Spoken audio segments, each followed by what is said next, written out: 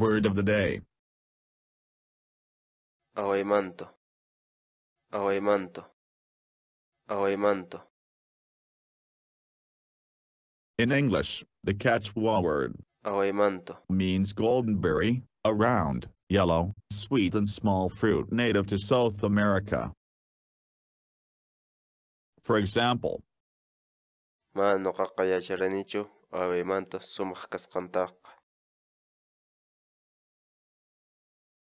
Try and download our Quechua spell checking programs using our web and desktop applications.